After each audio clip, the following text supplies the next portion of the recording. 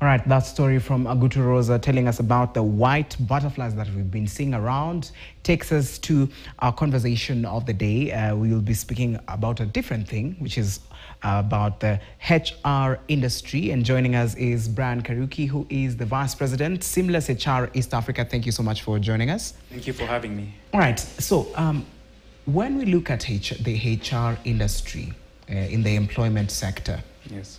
First of all, um, how are we in terms of taking care of um, the employees that we have? As uh, you come from, I mean, the HR part of um, the industry. So how how are emplo- employees uh, treated? Um, are we at a place where we can say almost um, 80% of the needs of employees are met by the HR department? Well, in truth, no. I think there is a lot of room uh, for growth and for improvement in terms of how we manage our people.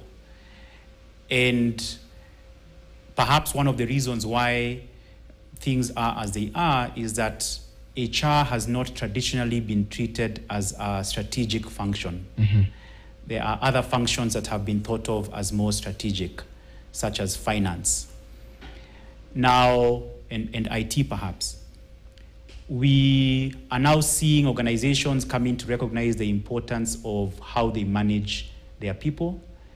And in order to do so effectively, they need to deploy technology, uh, which is what uh, Seamless HR does.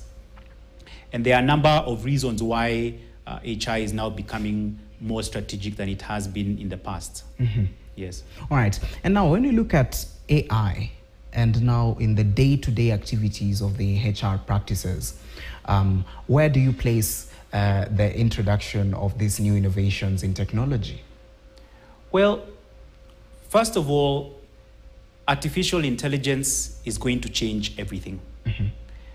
And it's important for us to understand that.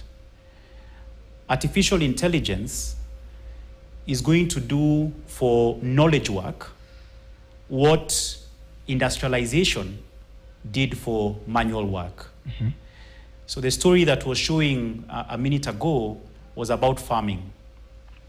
And in farming today, at a particular scale, if you're not making use of technology and tools, machinery, such as tractors, you will be far less productive than other farmers. That is exactly what is going to happen in knowledge work as well, where if you're not making use of artificial intelligence and the applications that are going to be layered onto artificial intelligence, you will fall behind. Mm-hmm. And so it is critically important that everyone today that does knowledge work understands how they can fit artificial intelligence into their day to day work. Mm-hmm. Now, coming to your question, there are a number of ways that AI and HR intersect. And perhaps the best way to approach them is by speaking about trends today in HR. And broadly, there are three trends that uh, we are seeing in, in human resources. One is that we have more and more people who are working remotely in a lot of organizations. Yes. And obviously, it is difficult to manage people working remotely without technology. If people are working in an office, it's much easier because time and attendance, for instance, you can do using a book. But when you can't actually see when people are clocking in to work and clocking out, you need to use technology. That's one of them.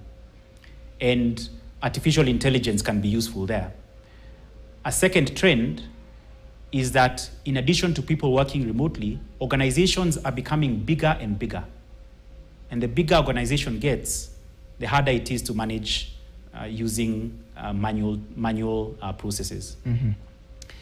And the third is that we are seeing a trend where people are taking things that were not tr- traditionally considered important, such as uh, mental health, diversity, and what have you, are becoming more important. Uh, and it's, it's, it's quite difficult to make use of HR tools uh, it's quite difficult to manage people in such a way that you are prioritizing things such as mental health Yes. uh, without making use of tools. And I'm happy to speak about how we are doing each of those things. Right. Before you even get to that, um, let us look at you've sp- spoken about mental health, and you know, in organizations or in employment, this is a very important um, issue, especially when it comes to um, life outside the office and also life in the office, because we have also life outside the office. Yes. So managing workers who are maybe um, uh, sometimes um, they go through other things outside the office. Yes. Um, what are some of the gaps in employment that are not really covering this? Because someone comes to work in the morning, Yes. they make sure they deliver what they have to Yes, deliver. In the yes. evening, they go back home. Yes. But at the end of the day, there is still life after the office. So, is this also an important aspect that needs to be looked at? Absolutely. And it's something that we at Seamless HR take quite seriously because our mission as a business is to help institutions, primarily in Africa, to optimize their resources so that they can become more productive and successful, uh, beginning with their people resources, which is why we are today focused on HR. Now, in a world where people were working manually, mental health was less of an issue because you clocked into work for farming, for instance. When the sun rose, you started work. Yes. When the sun set, you stopped work. Mm-hmm. But with knowledge work, those divisions between when you start work and when you end are becoming blurred.